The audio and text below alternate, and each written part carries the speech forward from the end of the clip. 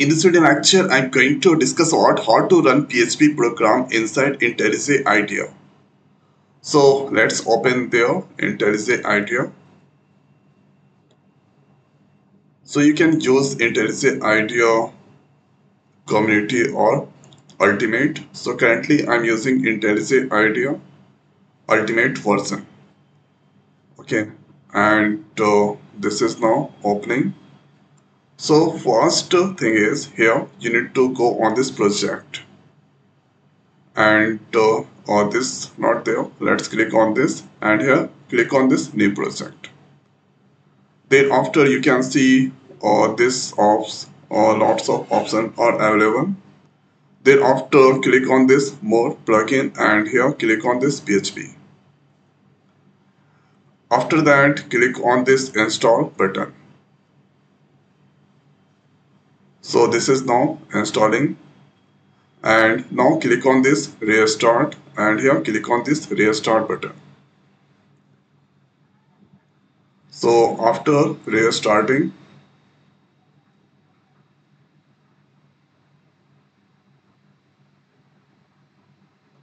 so now the IntelliJ IDEA it's opening there. And the next is here let's go on this and here click on this new project. So this time you can see PHP that's come there. So let's select here PHP project. And uh, here before I'm going to create the project let's open the command prompt. And if I write there PHP minus minus version then you can see PHP 8.35 that's uh, currently it's uh, installed there. So it can be different in your system.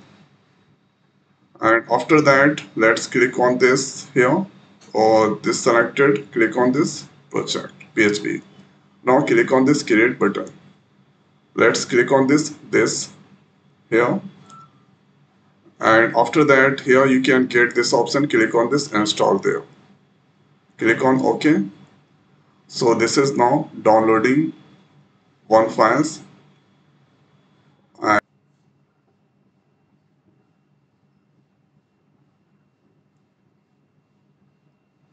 now you can see a file that's download completed. And uh, here vendor directory is not found. Run composer. So this option you can get there. Let's uh, click on this check and thereafter let's uh, click on this close. Now the next is here. Uh, that's project that's created. After that right click there. Then you can see new option. And here click on this php file. Let's give here the file name abc or let's give here test dot php so this come there let's print hello world. So with the help of this code I'm going to print the hello world. So this selected test PHP here you can see run and here. Let's click on this test PHP so here here you can see hello world that's displaying. And after that uh, the next is here. Let's copy this one. And paste there. So let's click on this browser.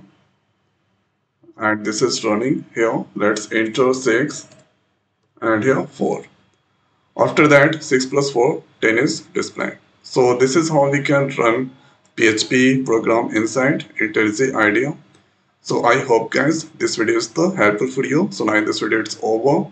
So thanks for watching. See you next week. Thank you